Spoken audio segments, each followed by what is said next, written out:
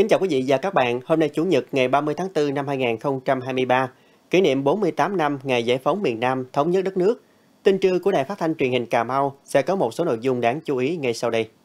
Cùng với cả nước, Cà Mau hôm nay đã có bước phát triển về mọi mặt. Một trong những thay đổi rõ nét so với những ngày đầu giải phóng là kết cấu hạ tầng được đầu tư ngày càng hoàn thiện, kể cả ở thành thị và vùng nông thôn. Từ đó thúc đẩy kinh tế xã hội phát triển, ghi nhận tại quyền cái nước.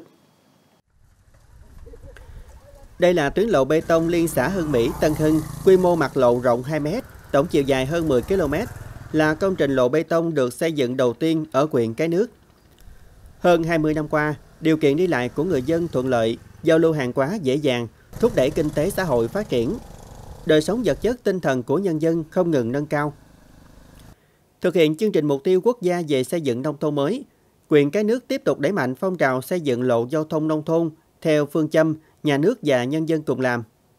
Nhân dân đồng thuận rất cao, sẵn sàng đóng góp vật chất, thuê mướn cơ giới là mặt bằng đất đen, đảm bảo cao độ theo thiết kế, chủ động ứng phó với biến đổi khí hậu, đảm bảo công trình lộ bê tông sử dụng được lâu dài. Tuyến giao thông nông thôn ở ấp Cái Hàng, xã Tân Hưng Đông có quy mô mặt lộ rộng 3 m, chiều dài trên 2.000 m, đang được đẩy nhanh tiến độ xây dựng trong những ngày tháng 4 lịch sử này. Công trình hoàn thành sẽ đấu nối với tuyến đường khóm Ngọc Tuấn, thị trấn Cái Nước, thông ra quốc lộ 1 và tuyến đường liên quyện Cái Nước, Phú Tân. Người dân rất phấn khởi khi tuyến lộ này được đầu tư. Trước đây ờ, cái lộ này đã có rồi nhưng mà nó đã hư hỏng ờ, thì ờ, đi lại dân khó khăn nhưng mà bây giờ nói chung làm được cái tuyến lộ 3 mét này thì nói chung là dân là rất phấn khởi để cái cái thuận tiện đi lại. Cùng với phong trào xây dựng lộ giao thông nông thôn, các quỹ chính quyền tích cực vận động các tổ chức cá nhân tham gia xây dựng cầu nông thôn. Theo chủ trương xã hội hóa, từng bước hoàn thiện mạng lưới giao thông nông thôn thông suốt. Sau khi ờ, miền Nam hoàn toàn ờ, giải phóng thống nhất đất nước năm 75 thì ờ, cả nước đi vào khôi phục đất nước đến nay đời sống nhân dân phát triển khá tốt. Thì lộ thì đảm bảo giao thông đi lại thông thoáng toàn ấp đặc biệt là có mấy tiếng là lộ 3 mét đảm bảo việc đi lại rồi phục vụ cho việc là vận chuyển một số hàng hóa có trọng tải lớn. Hệ thống giao thông nông thôn phát triển đồng bộ, tạo điều kiện cho người dân đi lại thuận lợi, vận chuyển hàng hóa dễ dàng, đời sống người dân không ngừng cải thiện và nâng cao. Gần 90% là nhà tường hết tôi nói đây là có thể là khiêm tốn chứ có thể cao hơn nữa. Thì cũng như cái số mỗi tôi có áp trở tại, có đi hết cái khu vực này dài ra, đó dòm coi là đâu còn cái nhà nào mà nhà lá hoặc cây cối siêu dẹo hết.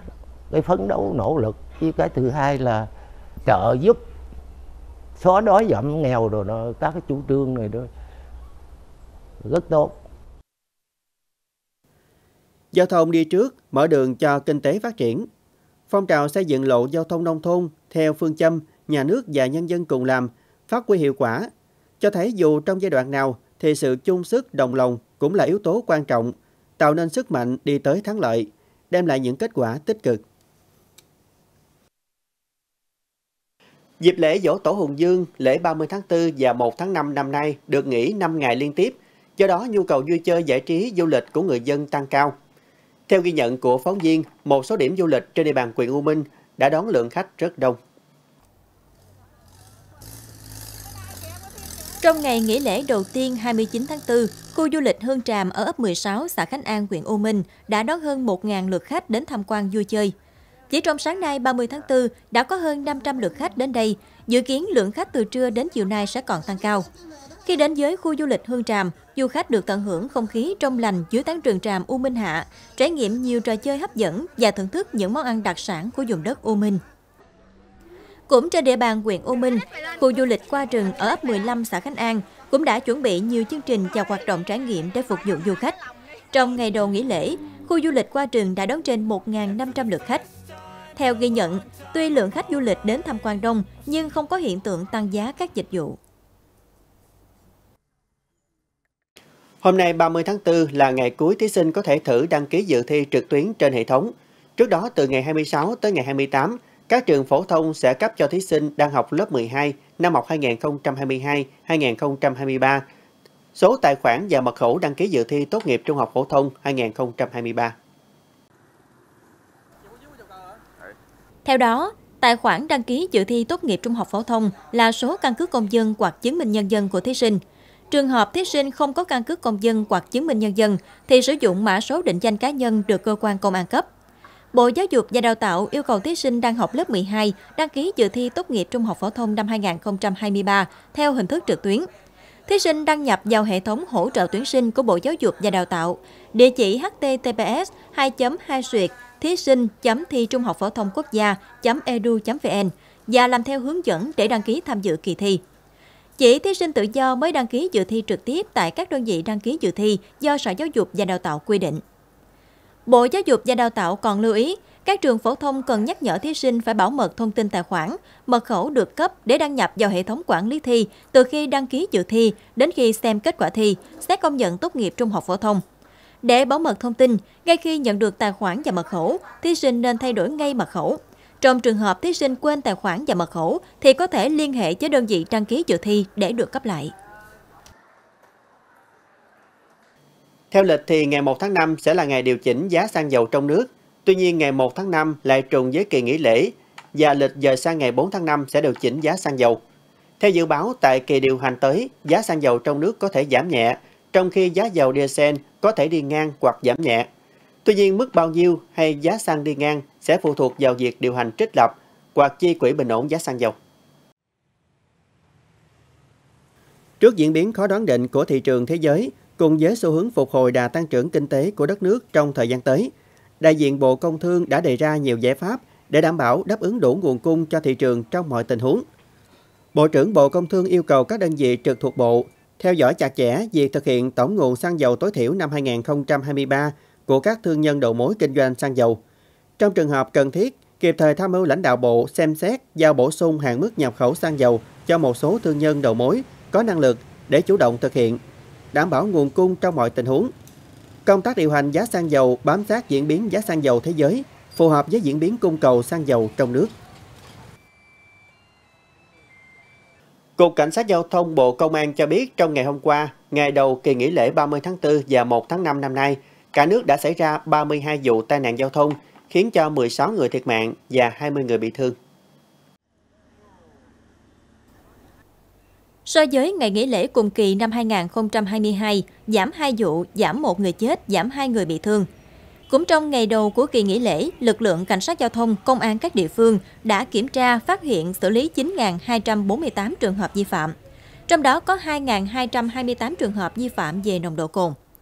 Về tình hình ủng tắc giao thông tại Hà Nội và thành phố Hồ Chí Minh, Cục Cảnh sát giao thông cho biết, từ 13 giờ đến 23 giờ ngày 28 tháng 4 và từ 5 giờ đến 8 giờ ngày 29 tháng 4, lưu lượng phương tiện tại khu vực cửa ngõ, các tuyến cao tốc, quốc lộ tiếp giáp tăng đột biến theo cả hai chiều ra và vào thành phố. Liên quan tới tình hình dịch bệnh COVID-19, hôm qua cả nước có 1.892 ca mắc mới, có 122 ca nặng phải thở máy. Trước nguy cơ dịch bệnh COVID-19 tiếp tục tăng cao trong cả nước, đặc biệt là dịp nghỉ lễ dỗ tổ Hùng Dương 30 tháng 4 và 1 tháng 5, ngành y tế Cà Mau đang khẩn trương triển khai các biện pháp nhằm chủ động kiểm soát dịch bệnh. Từ đầu năm đến nay, tỉnh Cà Mau ghi nhận 28 ca mắc COVID-19, hầu hết các ca bệnh là ở nhóm người cao tuổi, người có bệnh nền. Số ca mắc đang có dấu hiệu gia tăng vào những tuần gần đây. Trước diễn biến của dịch bệnh, Sở Y tế tổ chức các đoàn đến kiểm tra, chỉ đạo công tác phòng chống tại các sở y tế trên địa bàn tỉnh. Qua đây, khảo sát thực trạng các thiết bị, thuốc, hóa chất, phương tiện phục vụ công tác phòng chống COVID-19 thời gian qua – từ đó có những giải pháp hỗ trợ các địa phương sẵn sàng kích hoạt hệ thống phòng chống dịch khi cần thiết. Tổ chức tuyên truyền à, động à, trên các phương tiện thông trung đại chúng thực hiện các biện pháp à, phòng chống dịch Covid à, trong thời gian sắp tới. À, chúng tôi cũng ờ, tổ chức kiểm tra các cái ờ, trạm y tế xã phường à, bằng các biện pháp à, chống dịch. Các cái văn bản thì hiện trước đây để áp dụng còn cái hiệu quả cái hiệu lực. À, chúng tôi sẽ kiểm tra các cái phương tiện chống dịch hiện có tại trạm mà trước đây đã sử dụng cái nào đã à, còn sử dụng à, cái nào đã hư và cái nào phải đề xuất thu mua để chúng tôi có cái biện pháp chủ động trước tổ chức cái uh, tiêm ngừa Covid-19 cho các đối tượng theo hướng dẫn như là tiêm mũi à, tiêm nhắc mũi 3, mũi 4 cho các đối tượng từ 18 tuổi trở lên à, để lấy đường dịch cơ bản. Trong khoảng một tuần nay thì tỉnh Cà Mau đã phát hiện thêm 7 trường hợp mới. Đặc biệt trong đó là có một cái trường hợp bệnh nặng phải thở máy à, ở trên cái người bệnh à, cao tuổi và bệnh nền. Mặc dù tỷ lệ Ờ, tiêm phòng ngừa vaccine ở tỉnh Cà Mau ờ, đạt khá cao, ờ, tuy nhiên nhiều rất nhiều người dân cái tiêm mũi sau cùng đến ngày hôm nay thì thời gian cũng khá lâu do đó nên trong cơ thể thì miễn dịch cũng bắt đầu giảm dần. Hơn nữa thì trong các ngày lễ tới đây ừ, do ngày lễ dài người dân di chuyển nhiều tập trung đông thì khả năng bệnh dịch tăng cao là cái cái khả năng rất là tăng cao chung cho cả nước trong đó có cái tỉnh Cà Mau. Tại các cơ sở y tế tăng cường các biện pháp sát khuẩn tay, đeo khẩu trang đối với người dân đến khám chữa bệnh, đồng thời giám sát chặt chẽ tình hình dịch bệnh ngoài cộng đồng để khoanh vùng ngăn ngừa dịch bệnh lây lan.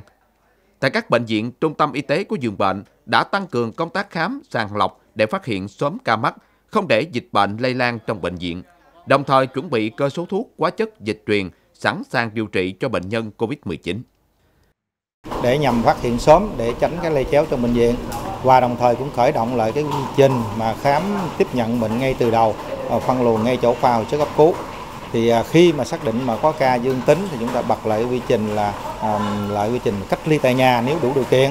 Hoặc giả là những đối những bệnh nhân mà nặng à, phân luồng mà tầng tầng 3, tầng 4 trở đi thì những trường hợp đó thành phối hợp những bệnh chuyển tiến thì bệnh viện cũng đã bật lại hết tất cả những quy trình đó và chuẩn bị sẵn sàng các cái cơ số thuốc, vật tư y tế, hóa chất thì bệnh viện đã sẵn sàng những ý này thì do vậy mà chúng tôi cũng đã sẵn sàng trong tình thế sẵn sàng hết Tỉnh Cà Mau vừa được Bộ Y tế phân bổ hơn 8.000 liều vaccine phòng COVID-19.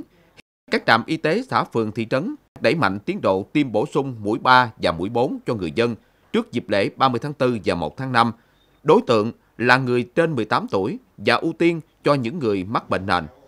Đây là giải pháp tăng cường miễn dịch phòng bệnh hiệu quả cho người dân. Bên cạnh đó, các cơ sở y tế tăng cường lồng ghép công tác tuyên truyền để người dân nâng cao cảnh giác phòng bệnh. À, để sớm phát hiện à, những cái à, khó khăn, những hạn chế để hỗ trợ cho địa phương có những giải pháp phòng chống dịch bệnh đạt hiệu quả cao hơn. Chúng tôi cũng đã tham mưu Ủy ban Nhân dân tỉnh phân bổ và triển khai kế hoạch tiêm vaccine. Chú ý à, quan tâm đến cái nhóm người từ 18 tuổi trở lên, đặc biệt ưu tiên cho những người cao tuổi, những người có bệnh nền. Thứ ba cũng đã chỉ đạo cho các cái cơ sở y tế, à, các cơ sở khám chữa bệnh à, chuẩn bị các cái phương tiện rồi các cái à, hóa chất dịch truyền à, thuốc à, để sẵn sàng tiếp nhận à, khi có những cái bệnh mà thuộc cái à, ở à, tầng 2 và tầng 3. Tiếp tục tuyên truyền vận động người dân à, tiêm chủng để phòng ngừa Covid-19 và đeo khẩu trang ở nơi công cộng. Do kỳ nghỉ lễ kéo dài, tỷ lệ người dân nhiều địa phương giao lưu đi lại là rất đông. Do đó, nguy cơ dịch bệnh COVID-19 sẽ gia tăng. Ngành y tế khuyến cáo người dân không được chủ quan lơ là, cần thường xuyên thực hiện các biện pháp phòng chống dịch như sát khuẩn tay, đeo khẩu trang và tiêm vaccine đầy đủ để tự bảo vệ sức khỏe cho bản thân, gia đình và cộng đồng. Quý vị và các bạn thân mến, thông tin vừa rồi cũng đã khép lại bản tin trưa nay của Đài Phát thanh Truyền hình Cà Mau. Cảm ơn quý vị và các bạn đã quan tâm theo dõi. Thân ái chào tạm biệt.